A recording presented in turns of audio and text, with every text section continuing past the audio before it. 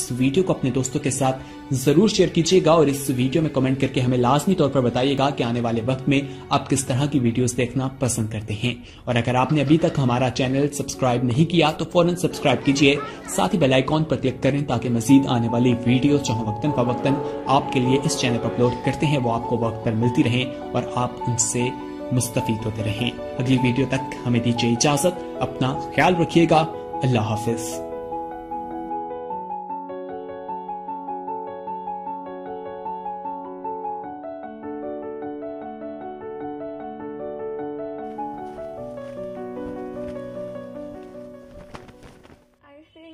That that is two sides. One is very calm and the other one is very grand.